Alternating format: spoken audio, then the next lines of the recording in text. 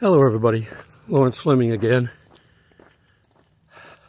I have got to try to get at least one video ahead. If I can, I can stay in my campsite and use my slow internet to upload a video where it takes about eight hours. And what have I got here? I don't know who that is. I've still got Wi Fi and it's trying to tell me to answer the phone. I'll have to wait for them to leave a message. the local area code, but I don't know. I've had this phone forever and the number forever. I'm contemplating changing it, but I'll just keep blocking calls until I don't get any more that I don't want to deal with. My car warranty, I get those all the time. I've had my car for since 2008, so I get a lot of car warranty stuff, insurance, you know, whatever. It's that time of year. Anyhow, getting back to my subject. I'm going to recommend some, some ideas here, but I don't want you going and checking them out. I just want to let you know that there are people who have studied the human mind and body and they've come up with ways to improve it from an earthly point of view. Now, we're supposed to be spiritually upgrading. But people who've studied it, studied everything from the earth side, have produced people that can do things that seem extraordinary. But it's because they've learned some of the secrets. And the same secrets are covered in the Bible, but we don't seem to listen to those for some reason. Oh, I got an armadillo up here. I might stop this long enough to try to film some of him, but I had some in the last video too. See how close I can get. He's about 40 feet away in front of me. Maybe I can back up towards him and keep me in the frame. I have to turn around. I have to back up so I can keep me in the frame. If I stop it, you won't know how close he was. Okay, let's see if I can find him. There he is.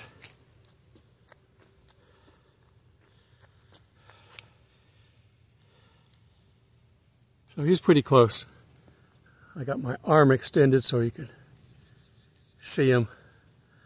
They are everywhere here.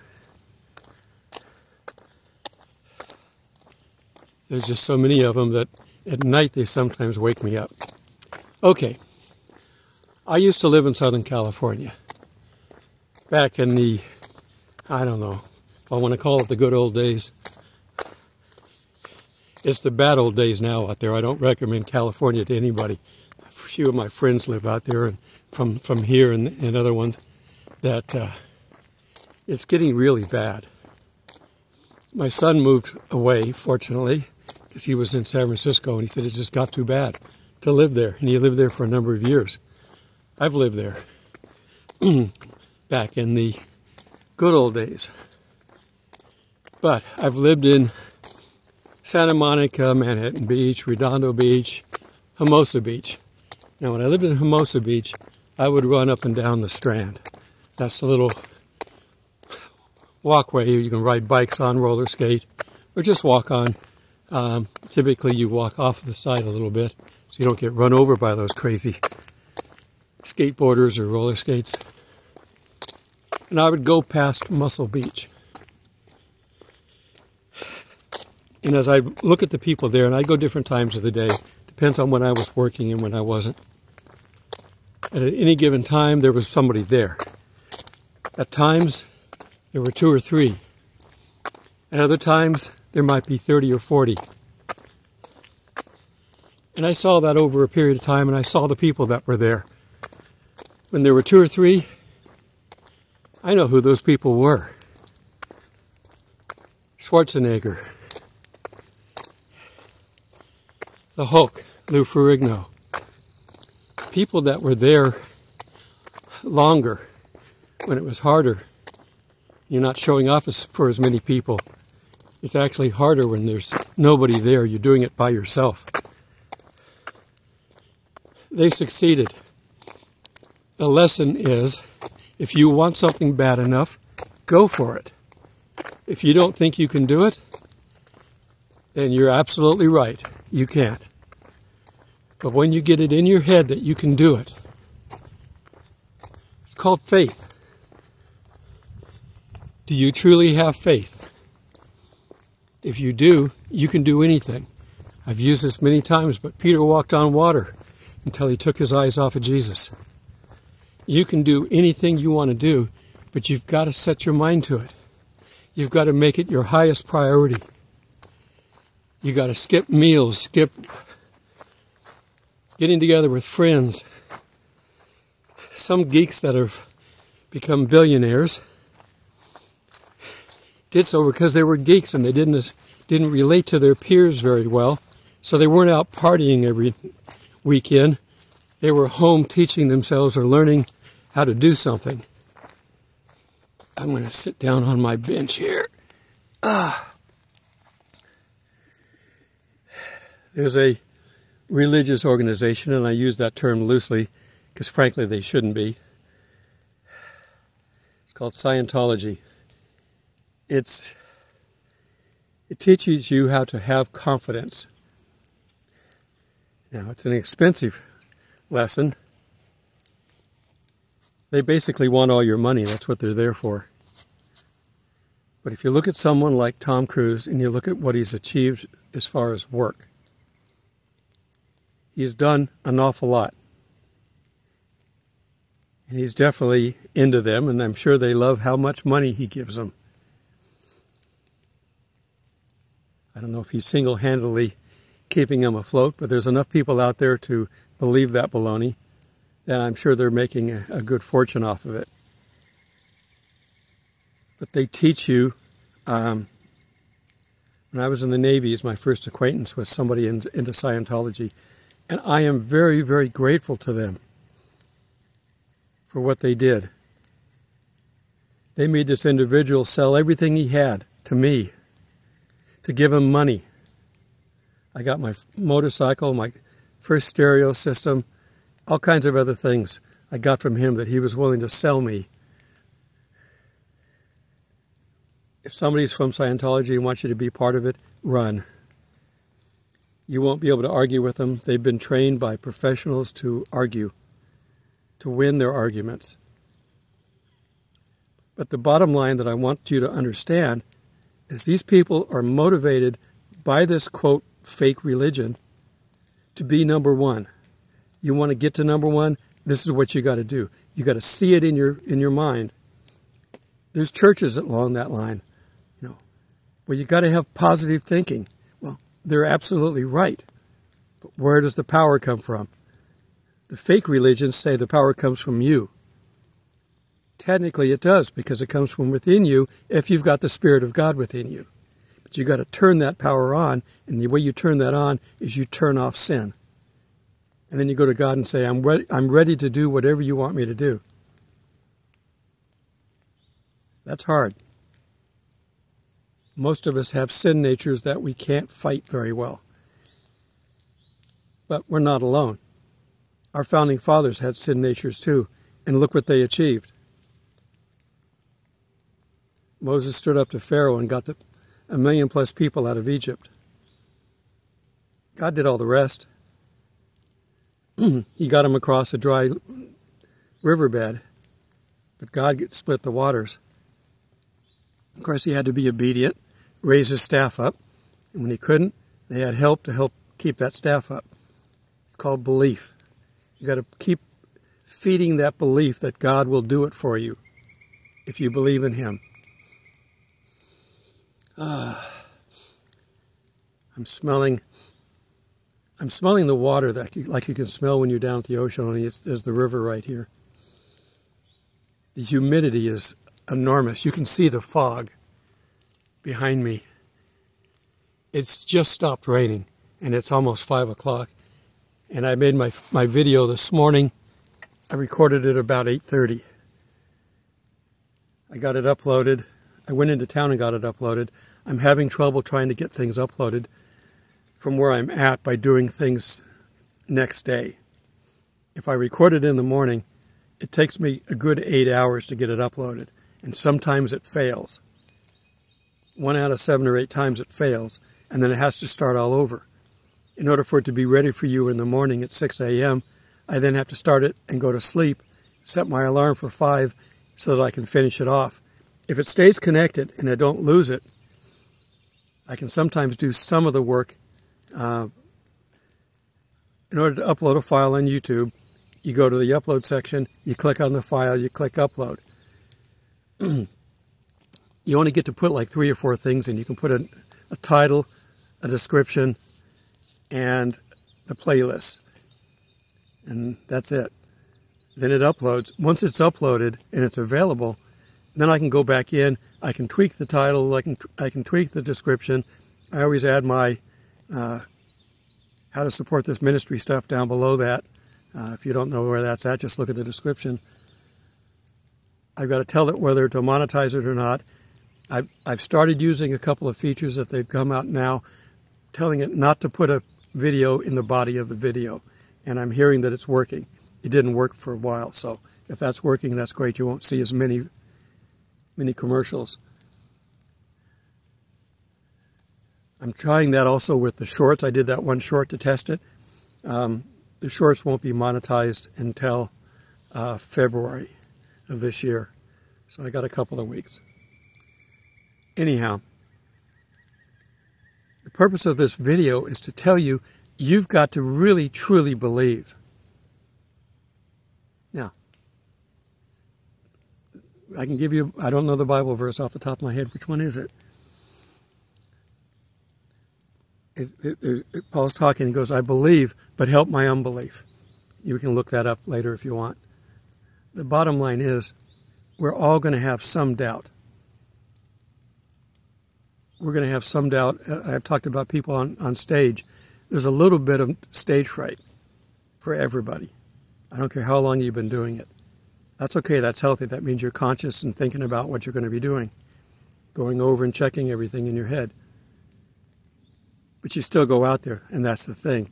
So whatever we have in our life to do here, I keep bouncing around because it's shaking on my knee. Let me see if I can get this on the ground. There's no wind. It's just dead. We had rain all day, but it was not uh, bad rain. It was not uh, bad storms. Okay. If I put this down, I'm going to have to point the camera up. Okay, that's that's what I can do. I'll stop I'll stop shaking the camera that way. But you have got to get out there. If it means reading the same 10 inspirational Bible verses every day, 10 times, 100 times a day, whatever it takes, to build that confidence in you that you can go forward with it. Do you think these guys back then knew how to do this? the Spirit will work you through it. They were looking, the, the leaders of the time were looking at the disciples going, how can, how can these guys talk like this? Aren't they fishermen or farmers? Yet they're talking very knowledgeable, very sophisticated. The Spirit was doing it. The Spirit's going to do most of the work. You just have to be there and available. And that's the key. But you've got to give it the power and that is the faith. If you don't have the faith that God can do what He says He's going to do, nothing's going to happen. You need to have that power from God going through you because you believe it's going to go through you. Now, some of this is confidence, some of this is doing it one time and succeeding. Edison said once, I didn't just fail a hundred times. I found a hundred ways it didn't work. That's confidence. That's why he was successful. You listen to Elon Musk. He's not a um, a genius per se. He's wealthy because he has confidence. I don't think he's a product of any of these mind controlling churches or whatever. I think he just was born with this confidence that he could do anything. And he's smart, though. I don't know if he's genius level. I don't know what his level is, but he, he knows what he's doing. And he knows what doesn't work. He got his car going his electric car going because he knew what they had tried and what didn't work. And he made it work. He gets he finds good people. And he puts the best in there. He's in space for that same confidence. Whether he's the richest man in the world, that's debatable. We don't really know exactly how much the Middle Eastern sheikhs and everybody they don't have to disclose their money and their their money is tied up in their government, which they run so heartily. So how much money do they really have? They could be the richest people in the world. But right now, the harlot and her collaboration, that's their greatest amount of money. These people are there because they believe in what they're doing. The bad people that are running this world believe in what they're doing, and that's why they're running this world. They believe in what they're doing more than Christians do on this planet, and that's sad. That's why they're winning. Now, they've got the greatest ego egomaniac out there, and that's Satan, you know, egging them on. They don't have the spirit of God in them. They and they really don't even have the spirit of Satan in them necessarily. They have demons. And the demons went to school and learned how to be like Satan. But they have a confidence that's inherited from Satan. Now, we don't have a chance personally without the Spirit to go up against Satan in any way, shape, or form. We'd be annihilated. We saw a few times in the New Testament where they tried to cast out demons and got chased away. In one particular case, Jesus said that type can only be dealt with with much fasting and praying. Or praying and fasting. Those two always go together. You want the power of God to be able to work out of you? Fasting and praying. I pray a lot, but I don't fast enough. Because I have health issues with my gut. Sometimes it's, I try and then it starts bothering me and I can't. But I can do a lot of short fasts. I just can't do a long fast. It's like my dad used to say when he was, smoking, and people asked him, Haven't you quit smoking? Yeah, every day. Yeah, well, if that's the best you can do, then you do that. You quit eating, you fast, you skip one meal.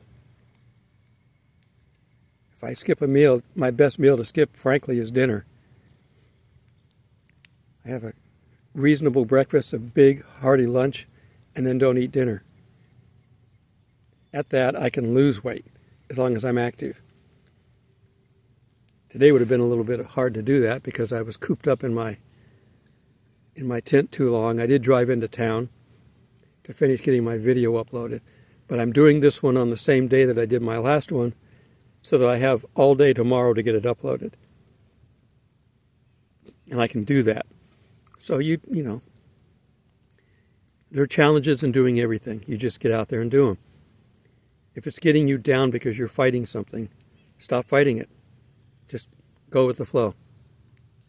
Stay with God. Don't give up on God. God's not going to give up on you.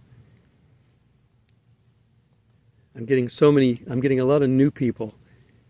Boy, I don't know where these, where they've learned the Bible. They didn't learn it at a good church. Maybe they were absent more than they were present. There's a lot of false teachings, and they're coming out with such confidence that they know what they're talking about, and it's completely false teaching. They go, Well, where is this in Scripture? No answer, silence. If you can quote a verse, you can find it. And I look up what they say and I can't find it. So, you can have confidence, but you got to have confidence in the right thing. So that's what I want you to make sure you do. Have your confidence in Jesus and God. God created all this stuff. So you let him you let him lead. Whatever you're going to do, you let him lead. If he if you think he wants you to go talk to somebody in some place, pray about it and say, "Okay, and this is what I do. I'm going to go I'm going to go here with your permission, I'm going to go here and I'm going to do this. I want you with me. I'm not trying to do this alone. And if you don't want me to do it, block it. If he's all for it, I go waltzing right in and do whatever I say I was going to do. Because whatever I was going to do, the idea, because I'm praying a lot, is coming from him. Now, if I don't get the message from him and it's the wrong thing to do, and I say I'm going to do this, and I say block me, all kinds of doors close to make sure that I can't do it. Now, I have to deal with those, so I'm encouraged to not go half cocked off any place. Because maybe I'm going to drive someplace and do something, and I'll run out of gas on the freeway because my gas gauge was stuck, and I didn't know it then I have I have consequences for running off and trying to do things that I shouldn't. I'm still trying. I've just got the wrong information and I wasn't listening. So here, make sure that I pay attention next time. I might delay an extra day or two before I do something, or a week or two, as I'm trying to get good confirmation. Hopefully, there's a number of steps to lead up to it, and I can say, well, block me at this step, and he won't block me. He won't block me sometimes until the last step. But if he sees that I'm trying, he won't make me pay a big penalty for it. It's a, it's a, it's a game of friendship. We're trying to do things together. He wants to do things together. He could do everything that we're doing with him by himself. He doesn't need us. He wants to work with us. Just remember that. He wants to be our friends and work with us doing this stuff. So just have confidence and know that if you if you pray like I do, I'm going to do this unless you don't want me to. Please stop me, but do it gently. But if he puts up a roadblock and you go, uh, I'm going to push through that because I'm determined to do this. No. Understand, everything that happens is for our good. That can be a Bible verse too if you want to look it up. So people that teach you how to have positive thoughts, don't let people teach you that. Let God teach you that. Look at everything, everything that you encounter as a positive. There's something to be learned positively out of it. Maybe you have a flat tire on the freeway. The person who comes to stop you and, and fix your tire for you may be someone that needs to have a witness. Tow guy might be somebody who needs a witness. Maybe it's somebody where you're going to get towed to that needs a witness. Look at everything that's happening from God's point of view as a positive. And understand, we cannot see from His level. If anybody here has been up in an airplane and you've taken a, a commercial flight, you're going to go to 20, 30, 40,000 feet. They're called flight levels and, you know, east is least. I forget uh, what that actually means now. God, I haven't flown for so long. If you're going east, you're at, you're at the odd, and if you're at uh, if you're going west, you're at the even. It's it, it's either that or it's backwards. I forget now. So that way, everybody's got at least 10,000 feet between them, so they're not going to run into each other flying around. We've got a lot of flights in the air. Just look, pull up one of these flight trackers and get them to show you how many planes are in the air at any given time you see one or two planes fly over a day, maybe. If you're near an airport, you might see 20 or 30. There's hundreds and hundreds all over the country, and the world's even worse. So they have to keep them separated. But that's the big picture. God sees the big picture. When He's at 40,000 feet, He can see everybody. We can't see people at 10,000 feet we get above, you know, three or 4,000 feet and everybody's, you know, ants. God can see people from two billion miles away. We don't even come close to that to where we'd even think about trying to take over at that level. You want Him to basically be calling the shots because we can't do that. So have confidence if you're depressed, you're trying to run things yourself. Stop doing that.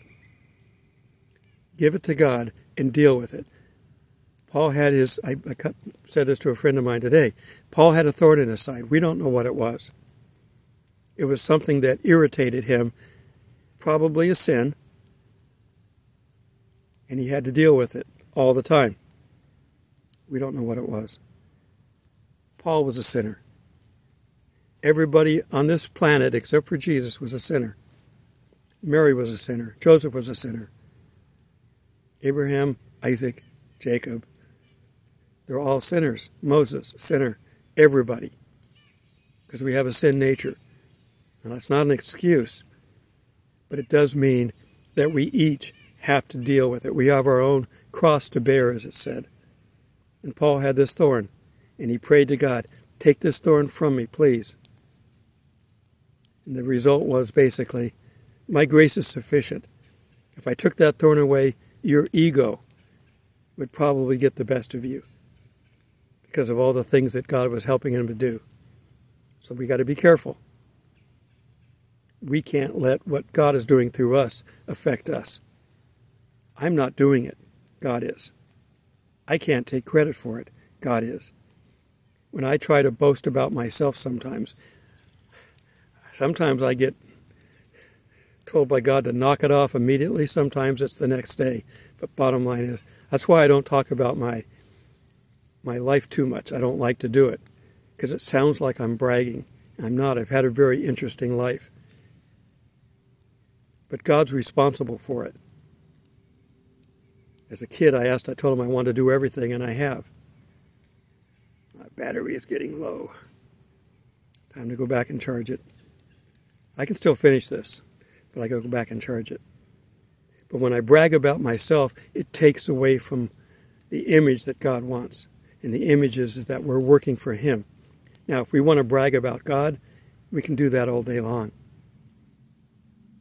But don't brag about yourself. That's why I don't. I don't put up pictures of what I've done with my last job.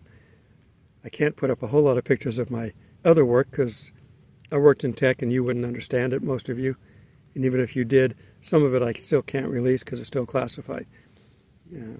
Anyhow, the bottom line is, I don't need to be talking about myself. I've got a world of, of God to talk about. And I've got work to do. I don't have it in my uh, personal, uh, don't go crazy on me, light. I don't have it in my being to be able to do a daily video. But God gives me what to say. I don't have a very good memory. I find this when I was learning scripts. It didn't do me any good to learn it a week or two or three in advance. I'd forget it by the time I was ready to perform. My best time for remembering something was 15 minutes before I went on. If I had a paragraph or two to say, I could sit down, read the paragraph or two, memorize them, go up and perform them, get done with the number of takes because you got to sometimes do up multiple takes. But a lot of times I get by with one. Walk off the set, and it's gone. I don't remember what I said. And it's the same with this. I'll have to go back in and edit this. I got to put in my little bottom text and things like that. But I won't remember the bulk of this.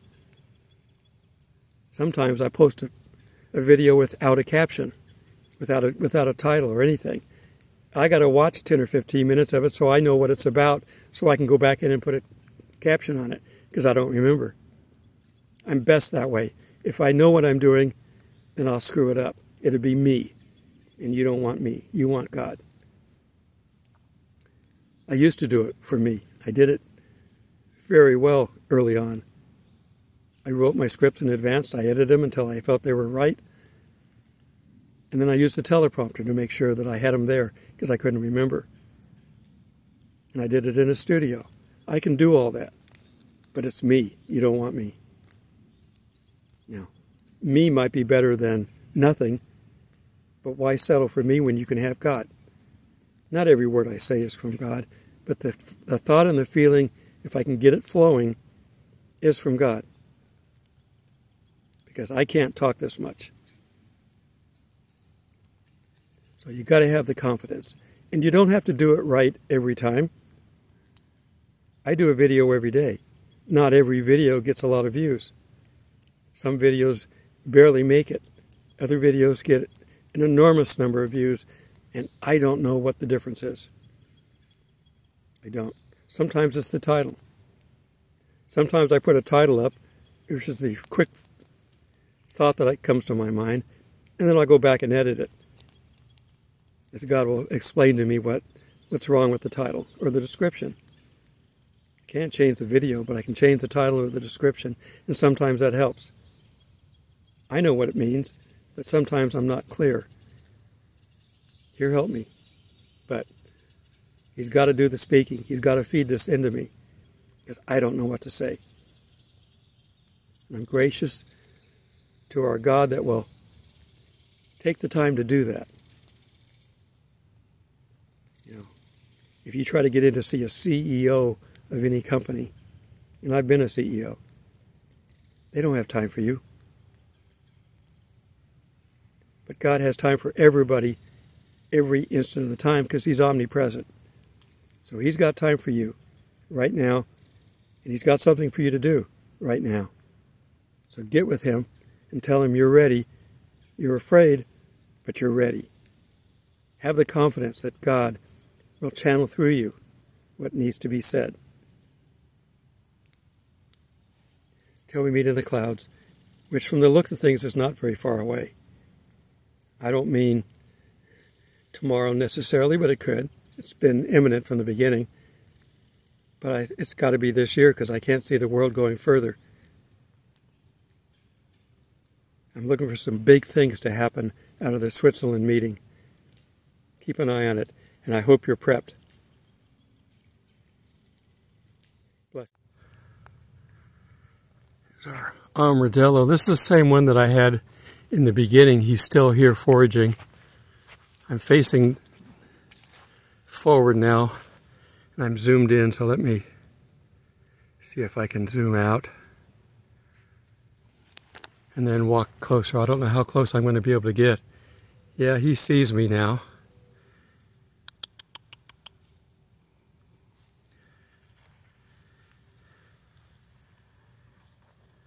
There's so many of these here, they don't have predators. with that armor back on them, they're pretty well protected.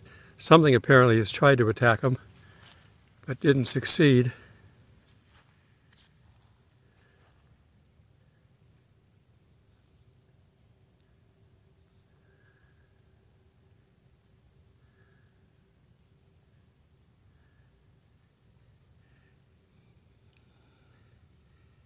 Imagine spending all your day looking for food? That's what these things do all day long, looking for food.